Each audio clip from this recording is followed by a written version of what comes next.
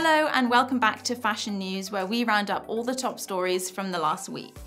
A Burberry and Vivienne Westwood collaboration is coming. Two of Britain's most beloved brands are coming together in honour of British style and heritage. Riccardo Tisci, Burberry's chief creative officer, revealed that he is going to work alongside one of his design inspirations in a post he shared to Instagram. Tisci, who will unveil his first collection for Burberry this September, shared a black and white image of himself with Westwood and her husband and design partner Andreas Kronthaler. He wrote, Vivienne Westwood was one of the first designers who made me dream of becoming a designer. The collaboration will see a limited edition collection of reimagined styles from Westwood's legendary archives. It's set to hit stores this December, just in time for the holiday period, so make sure you watch this space for more on that.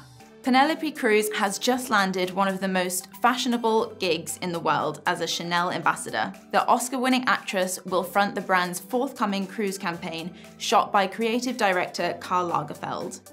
Cruz officially started her role this week, attending the Chanel Couture show in Paris, looking fittingly Parisian in pink tweed and a white beret. Cruz is no stranger to the brand, having worn Chanel several times on the red carpet throughout her career, so we can't wait to see what other looks the actress will style from the French fashion house. Win at Instagram whilst island hopping in the summer's most sophisticated swag. This week, we're dreaming of a Grecian getaway to Mykonos and Santorini. Naturally, we'll be packing all of our best blue and white outfits, including dainty bracelets from Piaget, covetable totes from Prada, laser cut pants from Isabel Marant, ruffly dresses from Zimmermann, sliders from Michael Kors, basket bags from Loewe, and plenty of pieces from Chanel's latest cruise collection. Repossi has chosen Dubai as the location for its third store worldwide. Having opened in Paris in 1986 and in Monaco in 1977, the fine jewellery brand has just opened its doors in the Dubai Mall's new Fashion Avenue extension. Their flagship boutique pays tribute to the brand's Paris store with its architectural setting, which is split into two spaces and includes a private area.